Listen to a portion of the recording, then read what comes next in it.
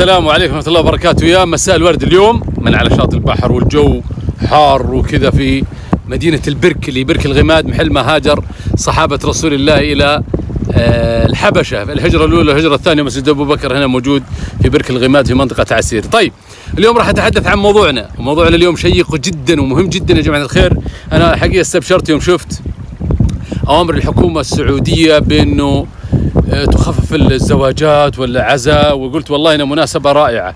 حتى الشباب الله يعطيهم العافية اللي عندهم زواج يخففون الزواج وأنا أعرف إنهم يعملون حفلات الزواج العالية هذه والمكلفة في صالة أفراح ويذبح 30 ذبيحة ويعزم زملائه عشان يحصل على معونة بسيطة. طيب أنا أقترح اقتراح.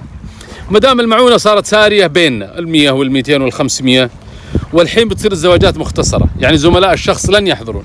ليش ما نعمل مبادرة؟ نبدأها من منطقة من هنا مثلا وتعم المملكة كلها والعالم العربي اللي هي أحدنا يتبنى رقم حساب معين. كلنا يا زملائه الذين نريد أن نساعد هذا الشخص رقم الحساب ينزل فيها وندخل في كل مبلغ في هذا الحساب ثم يكتب أسماء كل من تعاون وتحول لذلك الشخص ويشترون له شقة أو يشترون له سيارة أو يشترون له شيء يفيد. زمن التبذير وإن ناكل ال 20 ولا ال 50 ألف اللي كانت تجي معونه في عشاء ذيك الليلة ولا في حفل ولا في رقاصين ذهبت.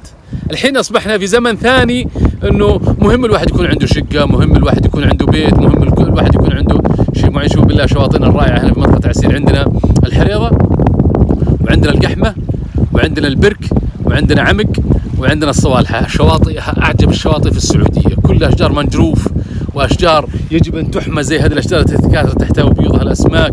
شواطئ خضراء أشجار نوقف سياراتنا تحت تحت الأشجار. شوف زي السيارة واقفة الآن تحت أشجار وفية ما تحتاج حتى خيمة. ما علينا نكمل الموضوع.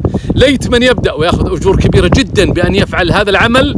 اللي هو إن المعونات تصل للمتزوج دون الحاجة إلى حفل عمل إلى حفل زواج يعمل ويخسر فيه الأول والآخر. بعض الزواجات تكلف 100 بعضها 200 عشان يجمع زملائه خلوا نعمل مبادرة خلوا كل أجر لنا. ترى عملنا مبادرة وخلدون الناس لنا أجورها لين تقوم الساعة. فكروا في الفكر هذا. وصل المبلغ البسيط اللي نعطيه معونة. والله إني أتمنى إن واحد يعزمني يقول لي لا تحضر. أحول المبلغ على حسابه. أنا مرتاح وحفظت وقتي. واسم إنه أشهر الزواج واسم إنه عزمني. واسم انه كلمني؟ وأنا عندي أشغالي وعندي أعمالي وأكل غير صحي وأكل السرولات وآخر الليل وأنا عادة ما أتعشى ورز وحاجات وبهذا ودي ما أشوفها والناس يتجمعون ويغتابون فلان ويتكلموا في فلان ومدري إيش وحسد وعين والحريم يلبسون ملابس غالية ويخسرون خسائر ضخمة جدا ويخسرون أزواجهم والعيال والحريم يقعدون مع بعض ويصير الأطفال تصير بينهم مشاكل أشياء لا نريد أن نذكرها الآن. وقضايا لها أول ما لا آخر في حفلات الزواج الابداع البدع اللي حاصلة الآن الكيكة والمكرونة والمدري الشيء والخراط اللي يخسر 50 60 ألف على أشياء لم يذكر بها لا قرآن ولا سنة. أنا أقول فرصة وخلونا نرتبها وخلونا ناخذ حجر السبق وخلونا نكون قدوة للباقين ونكسب أجورهم إلى أن تقوم الساعة. محبكم أحمد بدوي من برك الغماد في منطقة عسير.